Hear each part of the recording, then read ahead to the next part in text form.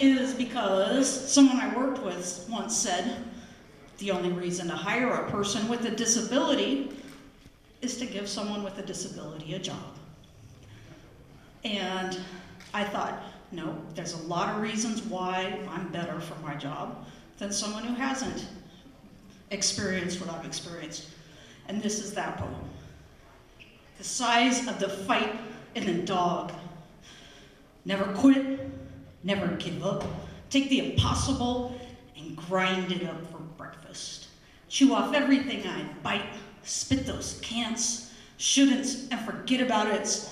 right out with the bones. Work right up to my means. Dig from the deepest, darkest, most desperate extremes. Squeeze rocks to find the hope, expand the scope of every plan, revoke the doubts of every man.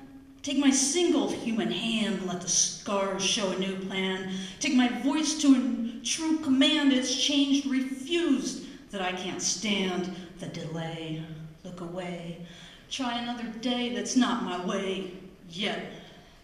Year by year, I learn new ways to persevere, to build consensus, to concur, that to demur might be to prefer that it's not weak to keep the peace.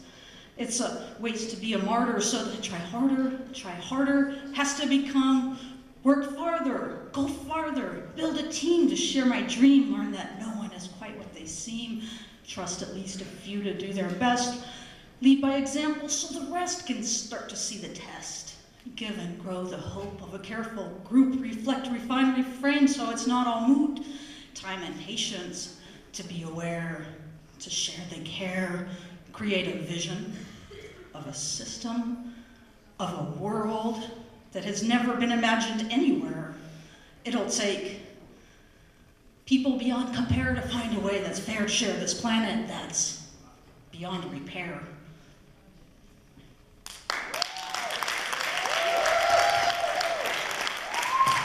Make some noise for Corinna West.